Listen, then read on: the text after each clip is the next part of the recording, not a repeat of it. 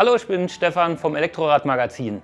Wie unser Name schon sagt, geht es bei uns um Elektroräder und der Kern dieses Ganzen ist ein E-Motor. Wie funktioniert der? Das gucken wir uns jetzt mal gemeinsam an. Wir haben uns dafür von Panasonic einen Tretlagermotor besorgt. Der liegt hier vor mir und da gucken wir rein. Ich schraube erstmal den Deckel ab, dann sehen wir uns gleich wieder.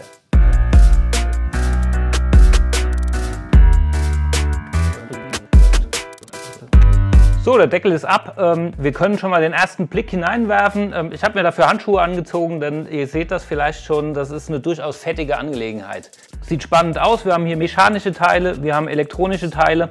Kommt mal ran, dann gehen wir jetzt mal ins Detail.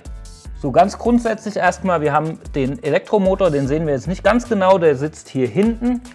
Der ist verdeckt von der Steuerelektronik, die hier auf dieser Platine sitzt.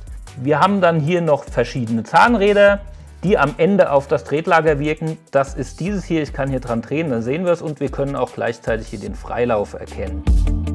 Ihr seht schon die verschiedenen Mechaniken, die ich gerade kurz beschrieben habe. Das ist die Besonderheit von dem Mittelmotor, der hat nämlich eine interne Übersetzung. Das bedeutet, wir haben hier die Welle vom Elektromotor, der wirkt auf dieses Zahnrad, was wiederum auf dieses Zahnrad wirkt, worüber wir dann zum Tretlager kommen. Dass wir hier diese Mechanik drin haben, das führt dann am Ende auch dazu, dass eben der Mittelmotor im Vergleich zum Beispiel zum Heckmotor deutlich lauter ist. Jetzt stellt sich natürlich die Frage, wozu haben wir denn überhaupt eine interne Übersetzung? Das ist ganz einfach. Je höher der Motor dreht, desto effizienter läuft er, beziehungsweise desto mehr Drehmoment entwickelt er. Das bedeutet, wir haben den hochdrehenden Motor, der natürlich dann sich mit unserer Trittfrequenz irgendwie vereinbaren muss. Und das macht er eben über diese Mechanik. Wir haben einen relativ hochdrehenden Motor, deshalb auch das oftmals recht laute Geräusch dazu. Dazu kommen dann die Zahnräder, die auch Geräusch abgeben. Aber am Ende bedeutet das eben, dass wir hier am Tretlager mehr Kraft bekommen, als wenn der Motor komplett ohne innere Übersetzung auskommt. Panasonic in diesem Fall setzt hier auf Zahnräder. Es gibt auch Hersteller, die haben Zahnriemen hier drin, dass wir eben nicht über Zahnräder das übersetzt, sondern eben durch eine durch einen Riemen, der hier um die zwei Wellen gelegt ist.